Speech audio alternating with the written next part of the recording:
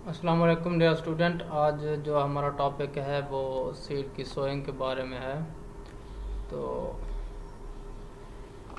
मतलब जो major objective होता है कि सोइंग कैसे करते हैं प्लांटिंग कैसे करते हैं तो फ़र्स्ट ऑफ़ ऑल जो हम टिलेज करते हैं सीड बेल बनाते हैं और उसके बाद वहाँ पर जो सीड को सो करते हैं। तो जो छोटे सीड होते हैं, छोटे साइज़ के, वो तो ब्रॉडकास्ट के ज़रिए हम उसको सो कर देते हैं। लेकिन अगर बड़े सीड हैं, जैसे कि कॉटन का सीड है तो उसको हम प्लांट उसका जो सीड लगाते हैं, जैसे ड्रिल मशीन है, उसके ज़रिए लगाते हैं। तो ये आज हम पढ़ेंगे। सीडलिंग इक्विपमेंट कौन कौन से होते हैं? फ़र्स्ट ऑफ़ ऑल ब्रॉडकास्टर है सीड ड्रिल है और क्रॉप प्लांटर है। ब्रॉडकास्टर क्या है कि ऐसे छट्टा देता है, जैसे कि मतलब इसके अंदर सीड डाला जाता है और ये घुमा के ना उसको छट्टा देता है और ये सीड स्प्रेड हो जाता है और डिफरेंट पोजीशन पे वो जाता है। लेकिन इसका ये है कि वो सीट की जो डेप्थ है वो नहीं कवर होती और बाजू का सीड कवर नहीं होता और उसकी जर्मिनेशन रेट जो है ना उसमें फ़र्क पड़ता है। ये पीटीओ ड्रिवन होता है ट्रैक्टर के साथ जुड़ा हुआ होता है। ये भी एक ब्रॉडकास्टर है जो सिंपली माउंटेड है और एक आम सिंपल एक आदमी भी इसको चला सकता है। सेकंड नंबर पे है कि जी सी ड्रिल सी ड्रिल है, ये एक स्पेशल किस्म की जो है ना सोविंग इम्प्लीमेंट है। इसमें दो किस्म के जो है ना सी ड्रिल पाए जाते हैं। एक तो है कोल्ट्रल डबल कोल्ट्रल सी ड्रिल जिसमें है ना सीड कम फर्टिलाइज़र भी उसको कह सकते हैं कि पहले उसको जो है ना सीड उसका निकलता है और उसके बाद फर्टिलाइज़र जो हम उसके अंदर डालते हैं तो वो निकलते हैं। ये जो आपको नज़र आ रहा है, ये पहला जो बॉक्स है ये, यहाँ पे इसके अंदर सीड होता है और ये येलो जो बॉक्स है इसके अंदर वो फर्टिलाइज़र होता है और ये ट्यूब लगी होती हैं, ये सीड ड्रॉप करती हैं और सीड गेज होता है। यहाँ पर रेगुलेटर जो सीड रेगुलेट करता है और काउंट करता है और मतलब इसको डिवाइड करता है और इक्वली डिस्ट्रीब्यूट करता है। और ये मेन होल है सीट ये सीट बेड का डिवाइडर करते हैं और सीट को कवर करने के लिए एक पिछले और डेस्क वगैरह लगी होते हैं यहाँ पर।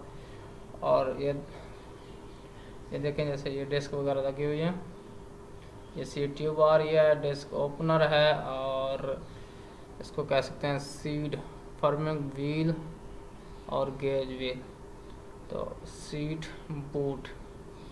और पार्ट्स ऑफ़ सीट ड्रिल में ये आ गया कि furrow opener seed tube seed metering device और सीट बॉक्स ट्रांसपोर्ट और drive wheel seed covering device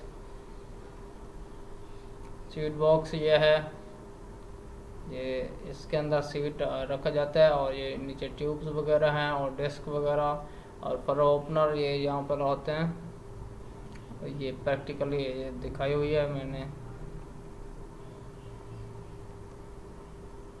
जो सीड की कैपेसिटी है, वो डिपेंड करती है कि कितना बॉक्स का जो साइज़ है सीड स्टोरेज कैपेसिटी उसकी कितनी होगी।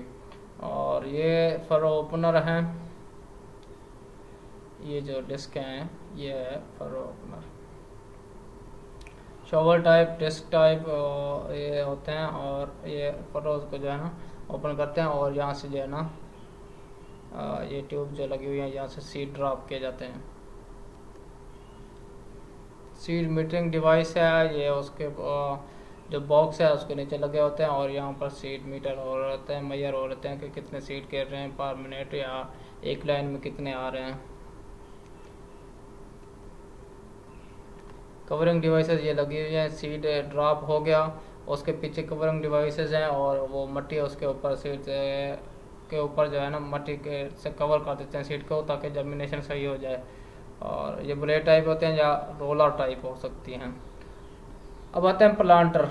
प्लांटर क्या है कि वो जो है ना सीड को या सीडलिंग जो छोटे होते हैं उनको प्लांट करता है जो एक मखसूस डेप्थ है जो रिक्वायर्ड होती है उसके ऊपर। उसके प्लांट करता है सीडलिंग को या सीड को।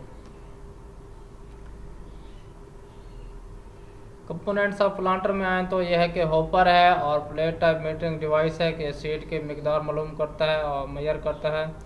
और सीड ट्यूब है, फरो ओपनर है और कवरिंग डिवाइसेज हैं जो सीड को कवर करते रहते हैं। यह होपर हो गया। It is a box made of steel in round tapered shape और trapezoidal shape the planting material is kept inside कि जो हमने मटेरियल प्लांट करना है तो इस होपर के अंदर होता है it has specified capacity metering device ये उसके मेजर करेगा कि इसके कितनी क्वांटिटी जा रही है। आ, ये एक डेमोन्स्ट्रेशन है कॉटन प्लांटर की तो ये उसके लगे हुए हैं कवरिंग डिवाइसेस वगैरह लगे हुए हैं और ये बॉक्स हैं। ये प्लांटर हैं जहाँ पर वो लग रखते हैं। इसको होपर भी कह सकते हैं जहाँ पर वो सीडलिंग वगैरह रखते हैं।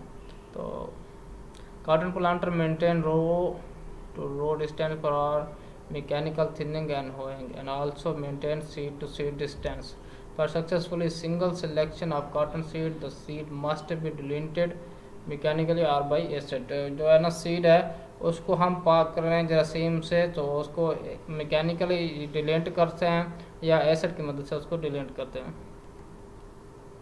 ये पोटैटो प्लांटर आपको नज़र आ रहा होगा। ये पोटैटो के फ़ील्ड में इसको यूज़ किया जाता है और ये डिफरेंट साइज़ के जो है ना पोटैटो इनको प्लांट किया जाता है। ये राइस प्लांटर है। इंडिया में काफ़ी यूज़ होता है ये।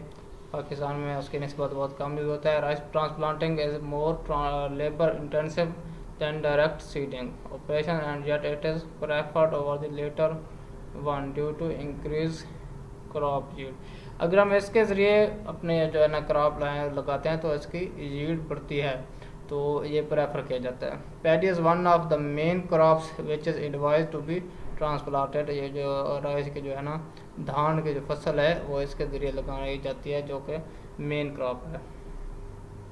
अब राइस ट्रांसप्लांटर क्या है कि require an average 200 to two fifty man hours to transplant one hectare paddy seedling manually और in the case of transplanting, it is necessary to grow seedling in a special nursery for 20 to 25 days. कि वो जो rice की जो nursery है, जो उसको बीजा कहते हैं आम जबान में या उसको सीडलिंग होती है उसकी तो 20 से 25 दिन के लिए उसको नर्सरी में ग्रो किया जाता है, फिर उसको वहाँ से उतार के हम अपने फ़ील्ड में ले आते हैं। वहाँ पे हम ट्रांसप्लांट कर देते हैं। तो ये आज का हमारा लेक्चर है। नेक्स्ट लेक्चर के लिए मुझे इजाज़त दीजिए। अल्लाह हाफिज़।